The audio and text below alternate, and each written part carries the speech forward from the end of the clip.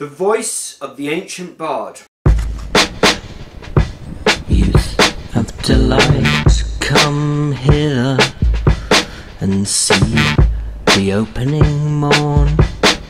Image of truth, newborn. Doubt is fled and clouds of reason. Dark disputes and artful teasing. Is an endless maze. Tangled roots perplex her ways. How many have fallen there? They stumble all night over bones of the dead and feel they know not what but care and wish to lead others when they should be led.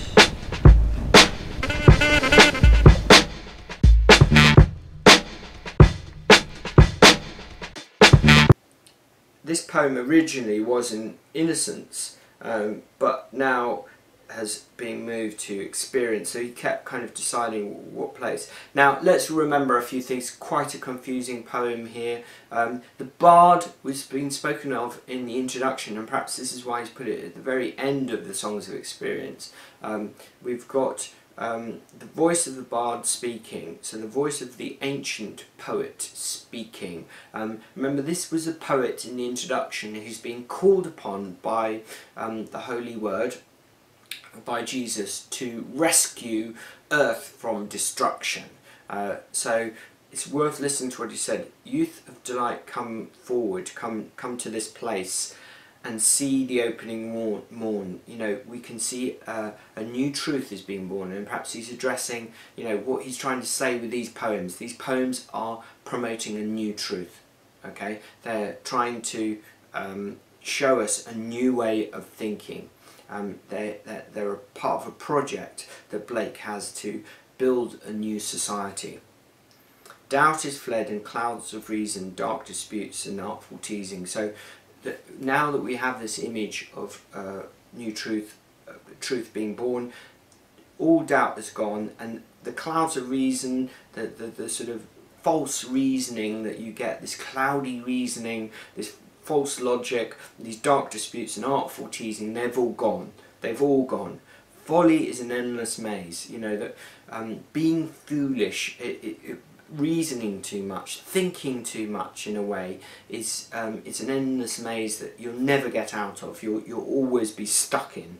Tangled roots perplex our ways. How many have fallen there? You know, people get tangled up in their thoughts too much, their logical thoughts. So Blake was very much against um, solving things through logic. He felt it was the imagination, it's the poetic imagination that would solve things. Visions would solve things visions of how things could be. Um, poetry and painting and music were the way forward, okay? But they weren't necessarily sort of um, simple answers. Um, they're more sort of feelings and um, attitudes um, that were solutions, not uh, kind of logical ones. Um, how many have fallen there? They stumble all night over the bones of the dead. Um, this is a quote from the Bible um, from John chapter 11, line 9 and 10, and um, the first book of John, uh, chapter 2, lines 10 and 11.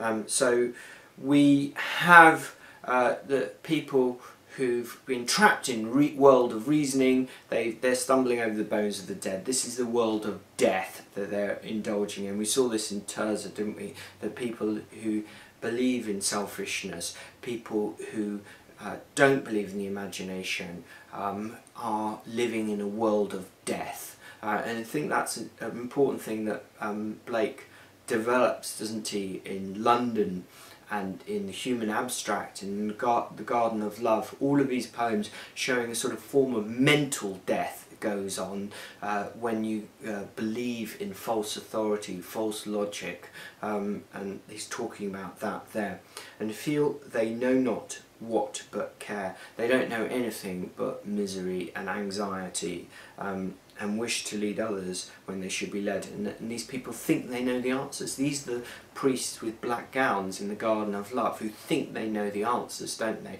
With their kind of false logic, their false God, their false religion. They uh, are, but they're binding your joys and desires with briars. You know, you're tangling you up in a kind of world of false reasoning and shame. Um, so, uh, and they, they think they know the answer. They should.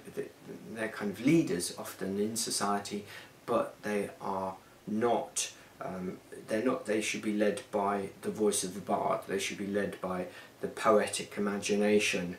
Um, it's an interesting poem. It's sort of an irregular sort of rhythm to it, um, and a kind of quite a calm um, rhythmic feel to it. It has a kind of authority, doesn't it? And we've got that powerful rhyme, dead and led, emphasizing the fact that these people need to be led by a new way of thinking, a new poetic way of thinking, a way of thinking Blake has been trying to promote in the songs of experience and innocence.